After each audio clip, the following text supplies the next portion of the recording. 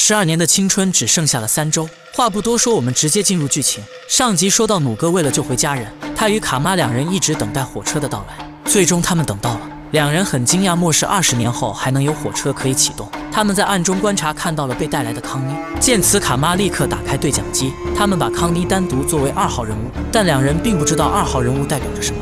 努哥想去救康妮，但卡妈觉得现在还不是时候。他们要知道火车的终点站是哪里。而另一边，玛姬在昏迷中惊醒，此时的守卫已经睡着，他立刻挣脱束缚，随后叫醒旁边的神父，然后神父再去对面悄悄的叫醒罗西塔。他们准备跳车逃跑，但罗西塔与神父刚跳下去之时，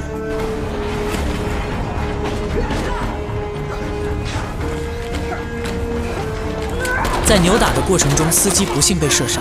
随后，马基迅速跳车逃离。此时，其他人也被带到了一处集结点，他们并不知道自己被带到了什么地方。安妮在昏迷期间，朦朦胧胧地听见了士兵对讲机的声音，两人知道了马基几人的逃离。这时，典狱长出现在众人面前。他告知了所有人，接下来所有的事情必须听命于他，不然他们的孩子将被处死。一行人被带下车，没错，他们要在这里为典狱长做立功。另一边的努哥与卡妈一直在沿着轨道跟踪火车的动向，两人抄近路来到火车的前方等待。但此时的努哥突然起身，准备单独行动，他想救康妮。见此，卡妈立刻上前劝说：“现在不是冲动的时候，如果我们死了，那就没办法救其他人。”此时的马基一直在沿着铁路前进，他听到远处传来的声音，立刻躲了起来。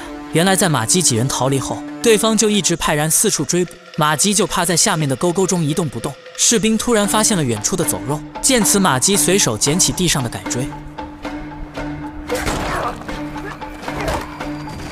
士兵直接被马基放倒。此时的弩哥与卡妈也开车来到马基的面前，他们还在途中遇到了加百利与罗西塔。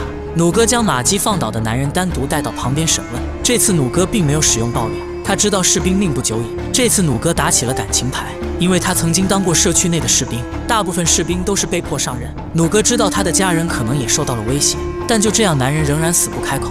当弩哥要将男人送走之时，神父出面了。他知道男人经常去他的教堂，虽然两人从来没有说过一句话，但男人见到神父就是有一种莫名的亲切感。士兵开口了，他们其他人都被带去一个地方做苦力。而刚刚几人所说的二号人物算是一个祭品，只要火车到站，二号人物就会被就地解决。